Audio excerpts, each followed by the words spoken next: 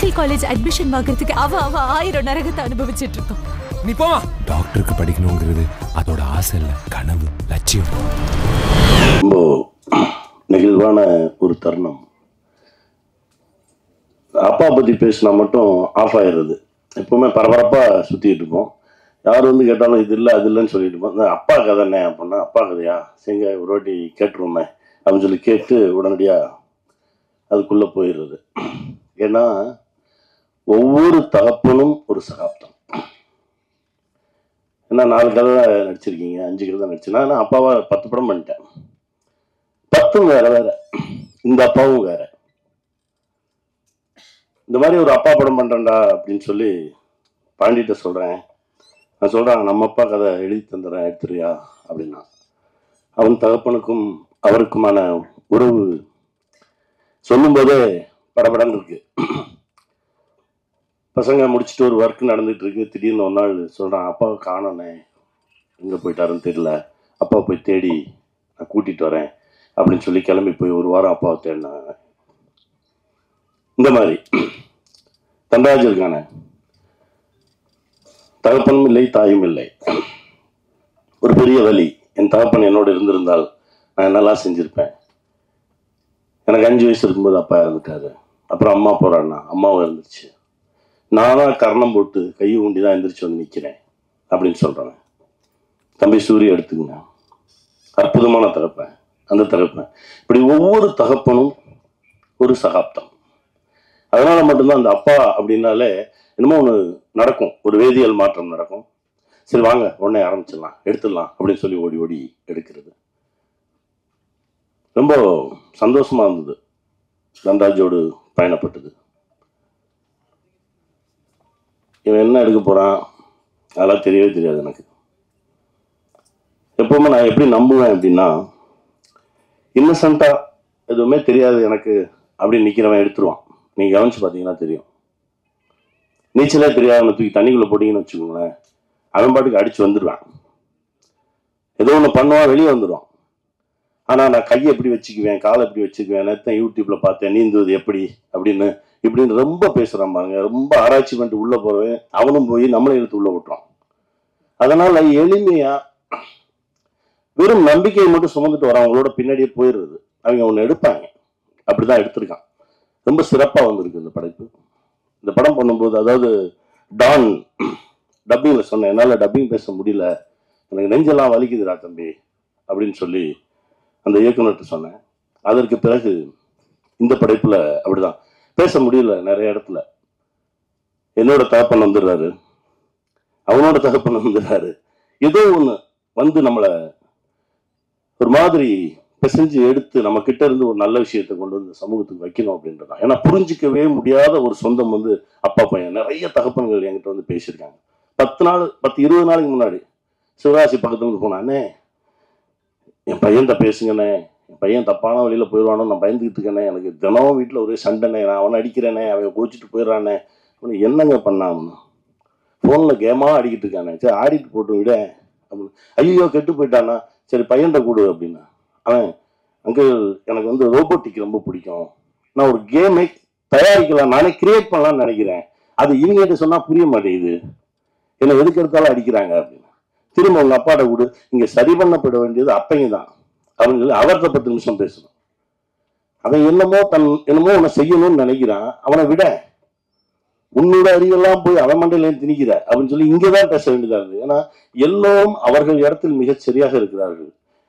இதுவாகணும்னு இவங்க முடிவு பண்றதும் நான் சொல்றதை கேளுன்னு அவங்க முடிவு பண்றதும் தான் இங்க சிக்கலா இருக்கு அப்படின்னு பார்க்கும்போது ஒவ்வொரு தகப்பனுக்கும் மகனுக்கும் உள்ள இருக்க உறவே அது வேற மாதிரி இருக்கு. தேடி தேடி தேடி தேடி இந்த விஷயத்தை சொல்லலாம். இது வரைக்கும் ஒரு பத்து பண்ணியிருக்கோம் அப்படின்னா இன்னும் ஒரு பதினஞ்சு இருபது பண்ணலாம். அப்பாவா? அவ்வளவு விஷயங்கள் இருக்கு. அப்புறம் என் அண்ணன் தம்பிராமன் அண்ணன் வந்து என்னை தாண்டி அப்பாவை சுமக்கக்கூடிய ஒரு மனிதர். நான் ரொம்ப ரசிச்சு ரசிச்சு எழுதுவேன். நானும் அண்ணனும் சேர்ந்து ஒரு பத்து படம் பண்ணோனே அப்படின்னு சொல்லி பேசினோம். அஞ்சு முடிச்சிட்டோம். ஒவ்வொரு படத்துலயும் ஒவ்வொரு மாதிரி இப்போ தெலுங்குல அப்பா பண்ணணும் அப்படின்றப்போ நான் ஆசைப்பட்டது நான் நடிச்ச ரோல் கிடையாது. நான் அண்ணன் நடிச்ச ரோல் தான் ஆசைப்பட்டேன். நான் அது நடிக்கிறேங்க. இதை வேற ஒருத்தர் பண்ண வைப்போம். அப்படின்னு சொன்னேன் நான் தெலுங்குல எடுக்கிறதுக்கு அப்படி ஒரு ஆத்மாவோடு பயணப்படுறது வந்து அதாவது என்னன்னா சாட்டைன்னு ஒரு படம் ரிலீஸ் ஆயிடுச்சு. முதல் நாள் முதல் ஷோ பார்க்குறோம் இந்த இப்போ தன்ராஜ் டீசர் போயிட்டு இருக்கும்போது என் கையை பிடிச்சி நிற்கிறான் கிட்டு கிட்டு கிட்டு கிட்டு ஆடுறான். இருறா இருடா ஒன்றும் இல்லடா எல்லாம் கரெக்டாக வந்துருந்தா. ஏன்னா பத்து நிமிஷம் முன்னாடி வரைக்கும் டீசர் ஓப்பனே ஆகலை. நான் சொன்னேன் அப்படி ஓப்பன் ஆகலைன்னா அந்த படம் ஹிட்ரா தைரியமா இரு. ஓப்பன் ஆகிடும் கையை பிடிச்சி நிற்கிறான் கிட்டு கிட்டு இதே உணர்வு. சாட்டை படம் ஃபர்ஸ்ட் டே ஃபர்ஸ்ட் ஷோ தேட்டரில் கை தட்டுறாங்க கை தட்டுறாங்க கை தட்டுறாங்க. என் பின்னாடி இருந்து என்ன அப்படியே கட்டி பிடிச்சிட்டு எங்கள் அண்ணன் முதல் முறையாக வெடிச்சு அழுகிறாரு. என்னடா என் பொண்ணு? நமக்கெல்லாம் யாரா இருந்தா? நம்மளா வந்தோம் நம்மளா விழுந்தோம் நம்மளா புரண்டோம் நம்மளா எழுந்தோம். இப்போ நிற்கிறோம் நம்மளையும் பார்த்து கை தட்டுறாங்க.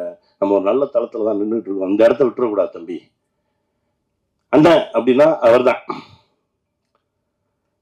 இந்த உலகத்துல எந்த டாபிக் வேணாலும் பேசலாம். எங்க கலையா இலக்கியமா அரசியலா பொருளாதாரமா எது வேணாலும் பேசலாம். அப்படி வச்சிருப்பார். அந்த சக்தி ஒரு முறை பேசினா போதும். தம்பி அப்படின்னு எடுத்தாருன்னா அப்படி போகும் கூட்டிட்டு போகும். அந்த மாதிரி ஒரு அண்ணன் அவருக்கு வந்திருக்கிறது எனக்கு ரொம்ப மகிழ்ச்சிண்ணே. இந்த அன்பு காலத்துக்கும் இருக்குண்ணே. என் சுவாசம் இருக்கும் வரை உங்களுக்கு தம்பியாகவே இருப்பேண்ணே. நன்றிண்ணே. தம்பி பாண்டி பாண்டியை பற்றி பாண்டி பாண்டி சொன்னதுதான். அவர் சொன்னது நான் திரும்ப சொல்கிற மாதிரி இருக்கும். அதுதான் தம்பி பேரன்பானவன். ரெண்டு ஆண்டுகளாக அவர் படம் பண்ணலன்றது அவரை விட எனக்கு தான் கோவம் ஒவ்வொரு முறை பார்க்கும்போது சண்டை போட்டுக்கிட்டே இருப்பேன். அவர் அதுக்கு பதில் சொல்லிக்கிட்டே இருப்பார். ஏன்னா அவன் சொல்கிறதுக்கு சொல்லுவேன். ஆரம்பிக்கடா ஆரம்பிச்சிருங்கடா. இயங்கிக்கிட்டே இருக்கணும் ஓடிக்கிட்டே இருக்கணும்டா அப்படின்னு சொல்லி பிடிச்சி இப்போ ஆரம்பிச்சிருவாரு. தம்பி ரொம்ப மகிழ்ச்சி. ரொம்ப மகிழ்ச்சி. தம்பி சூரி. என்னடா சூரிய கையை பிடிச்சிக்கிட்டு பாண்டிக்கு ஃபோன் பண்ணாரு இவனை இழுத்து விட்டுணும்டா இவன் வந்துடணும்டா அப்படின்னு அது இன்னைக்கு நடந்துருச்சு. ரொம்ப சந்தோஷமா இருக்குடா. போராளி பண்ணும்போது எனக்கு தெரியுது இந்த ஃபஸ்ட்டு டேயே போய் அந்த உட்காந்து உட்காந்து எந்திரிச்சு ஆடுற சாங்கு கொட்டடிக்கிறாங்க உட்காந்து உட்காந்து எந்திரிக்கணும். தெரியுது திணறாங்க. சசியும் உட்காந்து உட்காந்து என்ன நாலு ஷாட் நடிப்பாங்க. காலையில இருந்து உட்காந்து உட்காந்து எழுந்திரிங்கன்னா அப்போ ஒரு உந்துதல் ஒன்று நடந்தது. அப்பதான் சொன்னேன் தம்பி நம் பட்ட கஷ்டத்துக்கு கரெக்டான கதவு திறக்கும். திறக்கும் போது விட்டுறாத ஓடிடு அப்படின்னு. இன்னைக்கு என் தம்பி ஒரு கதையின் நாயகனாக உயர்ந்து நிற்கிறான் இப்போ அவர் நடித்த ஒரு படத்தில் போய் நடித்தேன் ரொம்ப மகிழ்ச்சியாக இருந்தது. மனசார சொல்கிறேன் மனசுக்கு இன்னும் நிறைய பெரிய பெரிய படைப்புகள் அவர் வாழ்த்துக்கள் தம்பி. மகிழ்ச்சி. தீபக் அவன் என் புள்ள. ஆக்சுவலாக ஸ்மால் ஸ்க்ரீனில் ரெண்டாயிரத்தில் அண்ணின்னு ஒரு சீரியல் பண்ணேன். அப்போ வந்து என் மூணு பசங்க. சாரகேஷ் கௌஷிக் தீபக். என் கடைசி பிள்ளை. முதல் முதல்ல அவனை பார்க்கும்போது ஒரு சீரியல் அடிச்சுட்டு அப்பதான் காலேஜ் முடிச்சு வந்திருக்கான். என் முன்னாடி வந்து அப்படி அடிச்சுட்டு அப்படி நின்று ஸ்டைலாக வந்து நின்றுட்டு இருந்தான். அவனோடு பேசும்போது பழகும்போது அவனுடைய தகப்பனுக்கும் அவனுக்குமான உறவு இதையெல்லாம் அவன் என்கிட்ட ஷேர் பண்ணும்போது இப்போ அவன் வேற வேற தளத்தில் வளர்ந்து ஒரு இடத்துல வந்து நிக்கிறான். ரொம்ப சந்தோஷமா இருக்கு. வாழ்த்துக்கள் தீபா ஹரீஷ் நல்லா வருவாடா. போராடு. ஜெயிப்போம். பாபி என் தம்பி ஒவ்வொரு முறையும் எப்போ சந்தித்தாலும் சரி அவரு ஒரு சக்தி கொடுப்பான். பாபி. Bobby Bobby. என் தயாரிப்பாளரை பத்தி சொல்லணும். என்னன்னா அவரை நான் பார்த்ததே இல்லை. பார்க்கவே இல்லை. நான் படம் ப்ரொடியூஸ் பண்ணுறதுக்கு நம்ம ஷூட்டிங்கில் தான் ஃபஸ்ட் டைம் சந்திக்கிறேன். என்னை பார்க்காமலே என் மீது ஒரு பேரன்பு கொண்ட ஒரு தம்பி. இந்த மொமெண்ட் வரைக்கும் அண்ணன் சொன்னா சரி அண்ணன் சொன்னா சரி அண்ணன் சொன்னா சரி அப்படின்னு சொல்லி ஏங்கிட்டு இருக்கான். அவருடைய மனசுக்கு இது மாதிரி பல படைப்புகள் வரும். அண்ணன் இந்த படத்தை தமிழில் நாடோடிகளில் ரிலீஸ் பண்ணோன்னே அப்படின்னு சொல்லி என்கிட்ட கேட்காமலே வெளியில வந்து பார்த்தா நாடோடிகள் வேற போட்டிருக்காங்க. என்னடா இது நடக்குது அப்படின்னா இல்லைண்ணா இது உங்க படம் நீங்க வச்சுக்கோங்கண்ணே. நீங்க தமிழ்ல நாடோடிகள் ரிலீஸ் பண்ணுங்கண்ணே.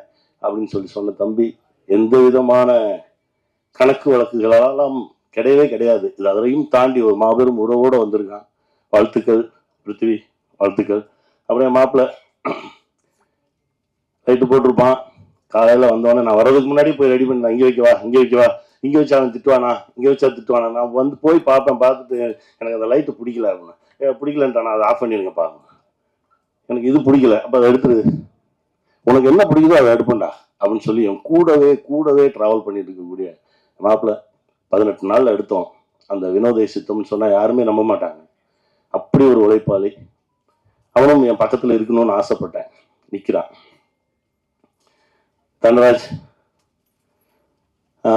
முதல்ல வேற ஒரு டைரக்டரை கூப்பிட்டு வந்தாங்க. அண்ணே இவர் தானே டைரக்ட் பண்ணார் அப்படின்னு. சரி கதை நல்லா இருக்கு. கதையை கெடுக்காமல் எடுத்துறதுக்கு ஒரு ஆள் வேணும் அவ்வளோதான் ஏன்னா ஒரு சில கதைகளை எடுக்கிறவங்க நினச்சி என்னதான் தப்பு தப்பாக எடுத்தாலும் அந்த கதை ஓடிடும் நாடோடிகள் கதையை போய் நான் பஞ்சர் நாச்சலா பாட்ட முழு கதையும் கேட்டாரு நீ இதை எவ்வளவு தப்பாக எடுத்தாலும் இது ஓடிண்டா அப்படின்னாரு. அந்த மாதிரி ஒரு சில கதைகள் அமையும். அப்படிப்பட்ட கதை இது. நான் தான் சொன்னேன், டேய் இதை கரெக்டாக எடுக்கிறதுக்கு ஒரு ஆளை கொடுங்கடா அது போதும். அப்படின்னா திரும்ப ஒரு பதினஞ்சு நாள் இருபது நாள் கழிச்சு எனக்கு ஒரு மெசேஜ் பயந்துட்டேன். அண்ணே இந்த மாதிரி பிரச்சனையாக இருக்கு என்ன செய்ய? அப்படின்னு. அப்போ நீயே எடுத்துரு நீயே டயட் பண்ண. அண்ணா நிஜமாக சொல்கிறீங்க எடுறா பார்த்துக்கலாம். இன்றைக்கி டயட்ரா வந்து நிற்கிறான் ஒவ்வொரு ஷாட்டும் அவ்வளவு தெளிவாக அவ்வளவு க்ளீனாக கடைசி டப்பிங் பேசுகிற வரைக்கும். போன படத்தில் நீங்கள் விமானம் படத்தில் வந்து கொஞ்சம் டப்பிங் கிராமர் மிஸ்டேக் இருந்தது. இதில் கிராமர் மிஸ்டேக்கே இல்லாமல் நீங்கள் டப்பிங் பேசுனீங்கன்னு இருக்கணும். எனக்கு கூட கொஞ்சம் டைம் கொடுங்க. இன்னொரு ஒன் டே கொடுங்க அப்படின்னு சொல்லி நான் உட்கார வச்சு முழுக்க முழுக்க எந்த விதமான இலக்கண பிழையும் இல்லாமல் எடுத்தார். ரொம்ப நன்றி தம்பி. இன்னும் நல்லா பெரிய இடத்துக்கு வருவான். நல்லா இருப்பான். நல்லா இருப்பான். எங்கள் அண்ணன் படமும் முதல் படத்திலிருந்து வியந்து வியந்து வியந்து பார்த்து நம்மளை கூப்பிடவே மாட்டேன்றாரு. இவர் நம்மளை நடிகனாவே ஒத்துக்கலையோ அப்படின்னு சொல்லி பல முறை எங்கள் அண்ணன்ட்ட கேட்டிருக்கேன். ஏன்னா என்னை கூப்பிடவே மாட்டேங்க இல்லைடா போடா. வரும்போது வந்தா போடா அப்படின்றாரு. எத்தனை முறை சந்தித்தாலும் நான் வியக்கக்கூடிய ஒரு மனிதர் எங்கள் அண்ணன் பாலான்னு இப்போ அண்ணனோட இயக்கத்தில் வணங்கானில் நடிக்கிறதுக்கு ஒரு வாய்ப்பு கிடைச்சது. அது ஒரு அழகான ஒரு பயணமாக இருந்தது. ரொம்ப சந்தோஷம். எனக்கு அதில். அண்ணன் எங்கேயுமே வரமாட்டாங்க. அண்ணனோட தொடர்பு கொண்டு அண்ணனை இந்த மாதிரி வாங்கன்னு கூப்பிடுறதே அதற்கான விஷயம் இருந்தால்தான் செய்யணும் அப்படின்னு சொல்லி தான் ஒவ்வொரு முறையும் யோசிச்சுட்டே இருப்பேன். ஆனால் இந்த முறை இந்த படத்திற்கு அண்ணன் வந்து நின்னா சரியாக இருக்கும் அப்படின்னு தோணுச்சு. நான் ஃபோன் பண்ணேன். அண்ணா இந்த மாதிரி விஷயம்ண்ணே நீங்கள் வரணும் அப்படின்னா. அண்ணன் சொன்னார் வரேன்டா. ஒரு ஒரு மணி நேரம் வந்தேன் ஏ என்னடா ஒரு மணி நேரம்? நான் வரேன்டா. அப்படின்னா அதான் எங்கள் அண்ணன். அண்ணா இந்த அன்புக்கு என்றைக்குமே கட்டுப்பட்டவனாக இருப்பேண்ணா ரொம்ப நன்றிண்ணே. தேங்க்ஸ்ண்ணா லவ்யூண்ணா லவ்யூண்ணா நன்றி. என்னுடைய சொந்தங்கள் அனைவருக்கும் என்னுடைய மனமார்ந்த நன்றி. ஏன்னா இந்த படம் போய் சேரணும். அதுக்கு தான். ஏன்னா இது இது ஏன்னா ஒரு சின்ன படத்தை எடுத்துட்டு ஒவ்வொரு முறையும் போராட வேண்டியதாக இருக்கு. ஒரு விஷயம் சொன்னா நீங்க எல்லாம் அதிர்ச்சி ஆவீங்க. அப்பான ஒரு படம். இப்போ வரைக்கும் எனக்கு அது என்ன பண்ணிச்சுன்ற கணக்கே தெரியாது. கணக்கே வரல. கொடுக்கல. இப்படிதான் இருக்கு. ஏங்க அது என்னங்க இப்போ என்னங்க பண்ணிச்சு? இதெல்லாம் பண்ணுச்சுங்க. இப்படிதான் இருக்கு. ஸோ ஒரு சின்ன படத்தை கொண்டு போய் சேர்த்து அதை அது என்ன செய்யுது அது ஜனங்கிட்ட எப்படி ரீச் ஆகுது? ஒன்றும் வெற்றின்னு சொல்லுங்க இல்லை தோல்வின்னு சொல்லுங்க வந்துச்சுன்னு சொல்லுங்க வரலன்னு சொல்லுங்க அது எதுவும் எல்லாமே ஒரு மாதிரி இருக்குது இதற்கு நடுவில் இப்படி ஒரு படத்தை வேற தூக்கிட்டு வரோமே அப்படின்ற ஒரு பதட்டம் எனக்கு இருந்துகிட்டே இருந்துச்சு. ஏன்னா அப்பாவில் எனக்கு நடந்த விஷயங்களும் இந்த நாடோடிகளில் நடந்த விஷயங்கள் தான் நான் அதுக்கப்புறம் படமே பண்ணணும்னு தோணலை. படம் எடுக்கணும் அப்படின்ற ஒரு ஏன்னா நான் ரொம்ப பேரன்பா படம் எடுக்கணும்னு ஆசைப்படுவேன். அண்ணனும் நானும் பண்றதுக்கு நாலு கதை ரெடியை எழுதி வச்சுட்டேன். அண்ணன் பார்க்கும்போது அங்கே பாரு எப்படா எப்படா தம்பி தம்பி எப்போ போவோம் அப்படின்னு. இன்னைக்கு தான் சொன்னேன் அண்ணன் தம்பி கல்யாணம் முடிஞ்ச உடனே ஆரம்பிச்சிடும்ண்ணே அது என்ன வேணாலும் நடக்கட்டும்னே. இப்போ தெலுங்குல ஒரு ஏரியா இருக்குன்னு. நம்ம ஏதோ ஒன்று பண்ணி உருட்டிடலாம் எடுத்துடலாண்ணே அப்படின்னு இப்பதான் சொன்னேன் நான். ஏன்னா என்ன நடக்குது? அதாவது எடுத்துடுறோம் பேரன்போடு எடுத்துடுறோம். அதை கொண்டு போய் வைக்கும்போது அந்த சந்தோஷமே இருக்க மாட்டேங்குது. அதற்கு ஒரு வழியும் தெரிய மாட்டேங்குது. இந்த படத்தையும் இந்த நிலைமையில தான் எடுத்துட்டு வரோம். எங்கேயோ ஒரு இடத்துல ஒரு வெளிச்சம் தெரியும் அப்படின்னு நம்புறோம். நான் நம்பக்கூடிய இந்த பிரபஞ்சமும் இறையும் எங்களுக்கு ஒரு நல்ல வழியை காட்டட்டும். மகிழ்ச்சி. நன்றி. நன்றி. இயக்குனர் அவர்கள் ஒரு வார்த்தை இப்போது பேசுவார்.